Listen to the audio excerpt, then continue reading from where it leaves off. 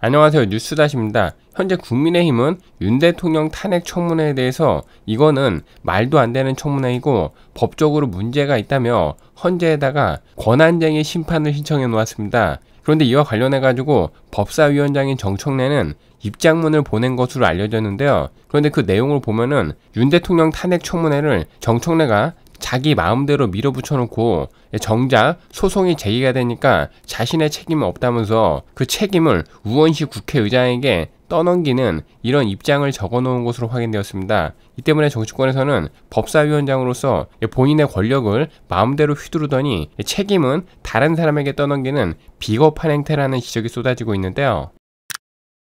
먼저 현재 국민의힘은 민주당이 단독으로 밀어붙이고 있는 윤 대통령 탄핵 청문회에 대해서 이거는 절차상의 문제가 있고 국회법에도 위반이 된다면서 받아들일 수 없다며 헌법재판소에다가 권한쟁의 심판, 효력 정지, 가처분 신청을 했습니다. 예, 그리고 특히나 법사위원장인 정청래가 윤 대통령 탄핵 청문회 청원을 임의로 중요한 사안이라고 판단을 했고 청문회 개회를 결정한 것은 잘못된 것이고 법사위원장인 정청래가 국회법을 임의대로 해석하고 있다라고 지적을 했는데요. 네, 그러자 정청래 같은 경우에는 지난 17일에 국민의힘의 주장을 반박을 하는 의견서를 제출한 것으로 확인되었고 정청래가 헌재에 제출한 의견서에서는 국회법 124조에 따르면은 국회 청원을 접수하고 소관 상임위원회로 회부하는 주체는 국회의장이라면서 국민의힘이 법사위원장을 피청구인으로 한 것은 적격 요건을 충족하지 않은 것이라고 주장을 했습니다.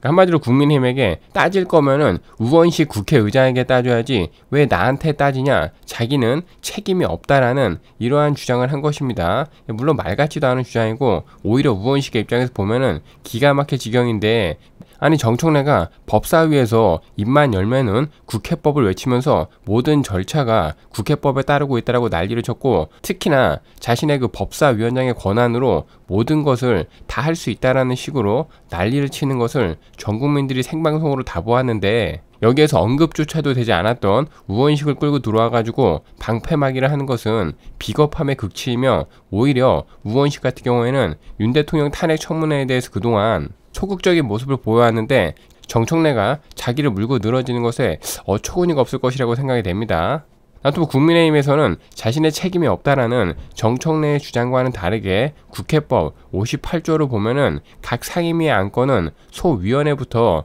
거치도록 전제가 되어 있고 대통령의 탈핵 청원안도 청원 심사 소위를 먼저 거쳤어야 한다라고 지적을 하고 있습니다. 이에 대해서 정청래는 청문회를 실시한 이후에 청원 심사 소위에 회부하겠다라고 밝혔는데요. 하지만 국민의힘은 청원 심사 소위 의결을 거치지 않은 채 청문회 개최 결정을 한 것은 위법이라고 지적을 하고 있고 청원안에 대해서 청문회를 열기로 하면서 청원 심사 소위를 거치지 않은 것은 국회법 65조에 위반되는 상황입니다. 또 이뿐만이 아니라 탄핵 청문회를 결정하는 과정에서 정청래가 토론을 임의로 전부 다 중단을 시켰는데 이거 역시도 토론의 기회를 박탈했기 때문에 문제라고 지적을 하고 있고 특히나 국회 본회의에 부의를 하지도 않고 탄핵 청원 청문회를 의결한 것은 국회법 위법이라고 지적을 하고 있는데요. 실제로 검사 탄핵을 결정을 할 때도 민주당 같은 경우에는 해당 안건을 먼저 국회 본회의에다가 올린 다음에 표결 절차를 거치고 그 다음에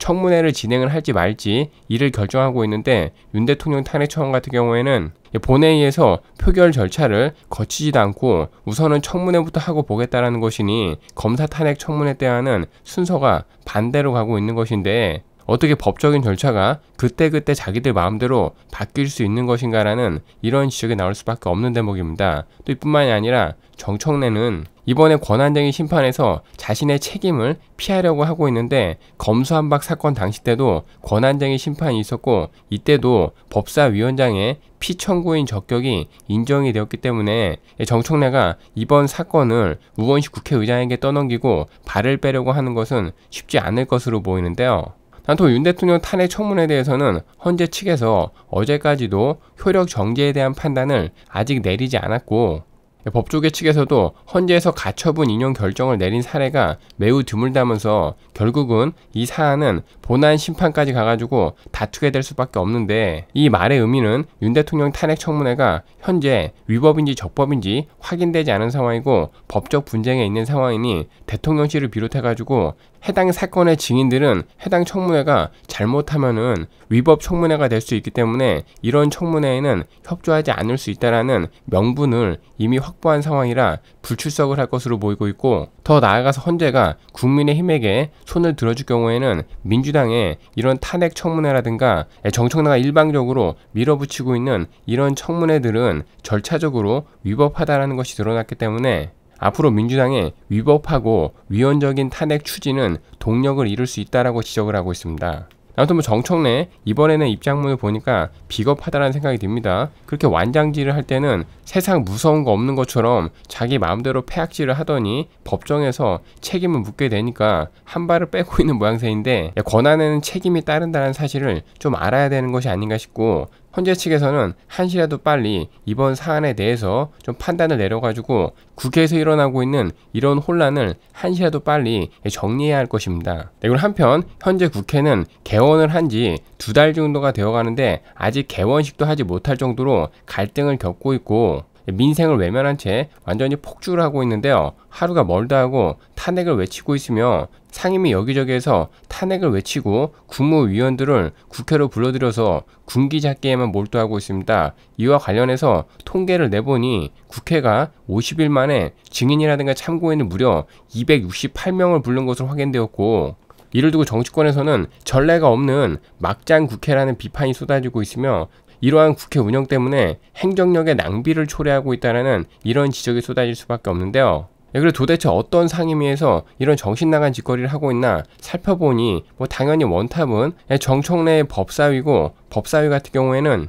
최상병 특검 청문회 때 15명의 증인과 참고인을 불렀으며 이번에도 윤 대통령 탄핵 청문회를 하겠다면서 증인 45명과 참고인 7명을 부르기로 결정을 했습니다. 이를 전부 다 더해보면은 법사위는 국회 개원을 한 이후에 벌써 70명 가까운 증인과 참고인을 부르겠다라고 난리를 치고 있는 것인데요. 그리고 그 다음은 최민희의 과방위도 법사위 못지않게 폭주를 하고 있는데 과방위 같은 경우에도 이진숙 방통위 후보자의 청문회를 이틀간 진행을 하겠다면서 증인 53명과 참고인 51명을 부를 예정입니다. 예, 또 이뿐만이 아니라 민주당 의원들이 상임위원장으로 있는 상임위 같은 경우에는 현재 국무위원이라든가 행정부 공무원들을 대상으로 과도하게 증인이라든가 참고인을 신청을 하고 있는 상황인데요. 네, 이러다 보니까 정부에 있는 공무원이 업무를 하기보단 오히려 국회에 나갈 준비를 하는 것에 더 많은 시간을 쏟고 있다라는 이런 말이 나오고 있고 무엇보다도 지금 상임위에서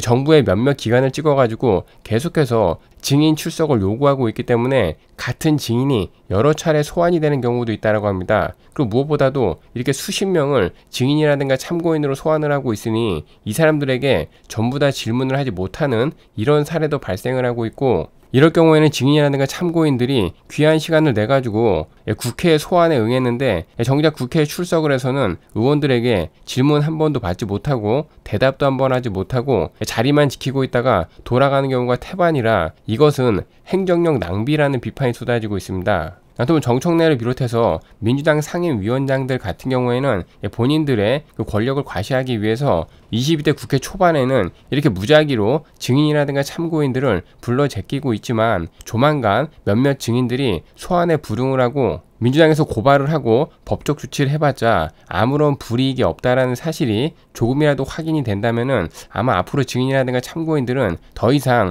국회 소환에 응하지 않을 것이라고 생각이 되며 정청래를 비롯해가지고 각종 상임위에서 완장질을 하고 있는 민주당의 상임위원장들은 칼은 칼집에 있을 때 가장 상대방을 긴장을 하게 하고 무서운 것이지 칼을 꺼내서 마구잡이로 휘두르면은 상대방도 살기 위해서 달려든다라는 것을 명심해야 할 것입니다. 이번 소식은 여기까지 하겠습니다.